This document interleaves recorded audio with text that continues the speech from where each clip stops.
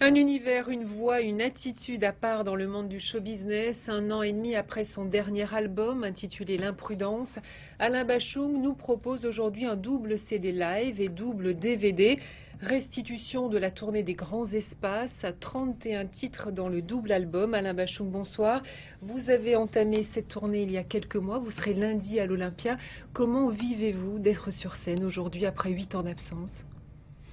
Euh, comment je le vis euh, je, le vis très intensément parce que j'ai un peu de j'ai un peu de temps à, rattraper et, euh, à rattraper pendant, pendant ces huit années vous, vous n'aviez plus le désir de vous montrer physiquement d'être sur un plateau? Oh, c'est pas tout à fait ça. J'ai participé à quelques films ou, ou d'autres projets discographiques avec d'autres artistes parfois, mais non, disons que j'avais envie de, venir sur scène avec une espèce de euh, avec des, quelque chose qui ressemblerait à, des images, enfin euh, quelque chose qui pourrait raconter un petit peu mes fantasmes euh, et pousser un petit peu plus loin le, simplement le, fait de jouer avec l'orchestre et, être là montrer un peu l'univers, peut-être. Vous vouliez euh, mélanger le son, les images, parce qu'effectivement l'image est très présente sur trois, Sur trois euh, panneaux euh, durant le spectacle. Vous aviez envie de ce mélange déjà. Je voulais mélanger tout ça, le faire une fois vraiment comme j'avais envie, hein, et, pas seulement avec des avec des clichés pop, mais plutôt avec des, avec des gens que j'ai rencontrés à un moment donné qui, qui, en fait viennent soit du théâtre ou des arts plastiques. Euh. donc ça, ça a donné des, des, des combinaisons qui font que... Euh, un mélange nouveau avec Oui, c'est assez... Euh, je ne connais pas tellement oui, de, de, choses comme ça, mais... donc Vous avez vous-même du mal à le qualifier? Oui. Oui, oui, parce que vous, je, qui aimez, vous qui aimez beaucoup ciseler, trouver des mots, euh, vous ne sauriez pas quel qualificatif mettre sur cette. Euh, Alors justement, c'est assez difficile à. Euh, ça peut venir, je, sais, je, peux vous, je pourrais vous raconter le début, mais alors c'est toute une histoire, c'est des, rencontres ou des voyages à Venise. Venise m'avait créé une impression curieuse. Je ne voyais, je ne voyais, il n'y avait pas de signe d'avenir euh, et, la Chine aussi, j'avais tourné un film en Chine, qui le tournage m'avait beaucoup marqué. Je voyais ce, parfois un lien entre la Chine et Venise, c'était Marco Polo. Donc vous avez voulu mettre ces images dans ce spectacle Oui, parce qu'en fait c'est une sorte de géographie de l'esprit. Hein, ça a à voir avec nos fonctionnements, avec euh, les grands espaces. C'est peut-être ce qui nous manque ici. Les grands euh, espaces Oui, quelque chose. enfin, ça a à voir avec ce qu'on a dans la tête aussi. De plus ouvert et de, plus, éclaté plus, Oui, voire plus loin peut-être aussi. Euh, euh, pour l'instant, on a, on a, on a l'impression qu'on on bute sur d'anciens problèmes encore. alors, on, a, on a peur de se projeter dans le futur. Un peu, il y a un peu de ça. Alors, en tout cas, la nuit, vous mentez. C'est ce que vous dites dans cette chanson magnifique. Je l'avoue. Il ment, on l'écoute, très belle chanson. Je mens, je prends des trains à travers la plaine. La nuit, je mens, je m'en lave les mains. J'ai dans les modes des montagnes de questions où subsiste encore ton égo. Où subsiste encore ton égo.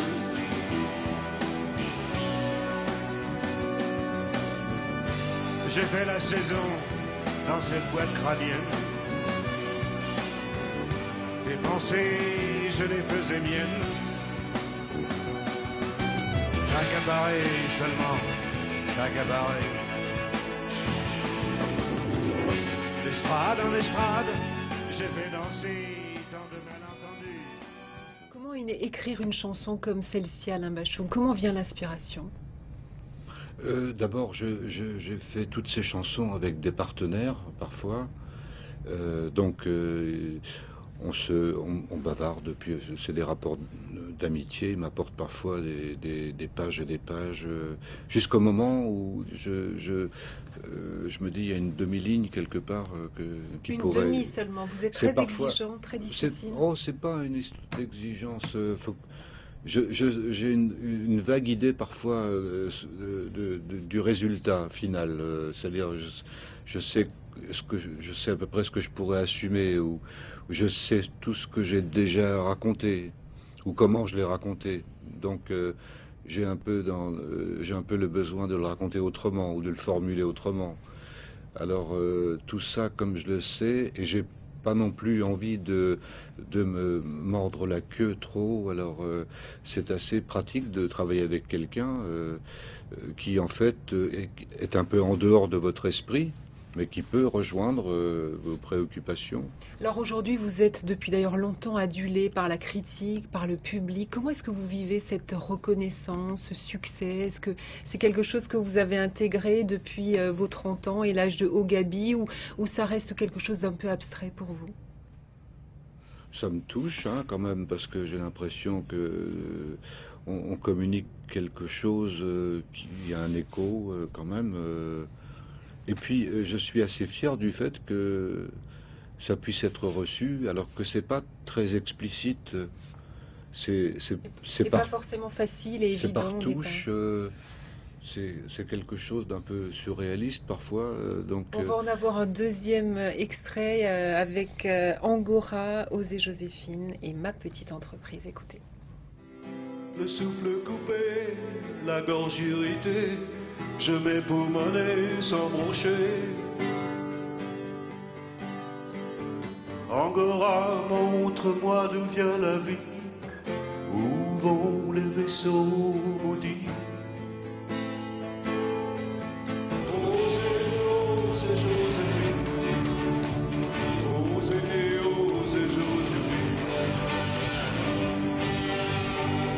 Plus rien ne s'oppose à la nuit.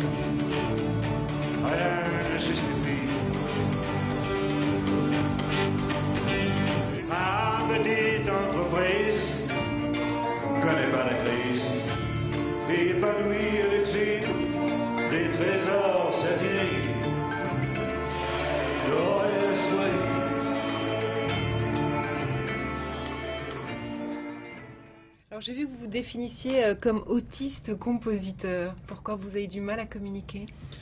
Ça m'arrive d'être complètement bloqué, oui.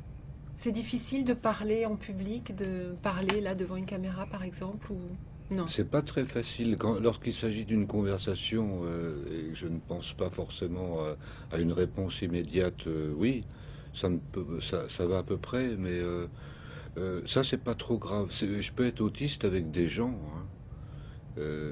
Si... Vous n'avez pas peur du silence, de rester dans votre univers? Moi, je n'ai pas peur du silence, mais, mais le, L'époque peut, un peu expliquer bizarrement la notion de silence. Moi, ça ne me dérange pas de rester silencieux. Alors ici, on ne va pas le faire peut-être. Euh, un dernier mot, vous dites aussi que vous travaillez moins sur la musique que sur les sentiments qu'elle procure. Ça veut dire quoi? C'est que vous n'êtes pas un technicien, vous êtes d'abord un intuitif, vous êtes un... Euh, je suis, oui, je suis plutôt intuitif. Je sais pas, euh, j'ai pas fait de conservatoire, euh, mais, par contre, c'est vrai que je me suis intéressé à beaucoup de, formes de musique ou d'écriture aussi. Donc, après, j'ai essayé de, faire ça à la fois sérieusement et en même temps avec beaucoup de, recul. Et aujourd'hui, c'est plus pour pour provoquer une émotion, au moins pendant le moment pendant lequel je, euh, je, navigue sur scène. Oui, oui. Alors en tout cas, je rappelle la tournée des grands espaces, double CD live, double DVD live, et puis lundi, euh, lundi soir, vous êtes à l'Olympia. Donc pour tous les fans de Bachung, à ne pas rater. Merci d'être venu nous voir. On passe à un autre genre de musique.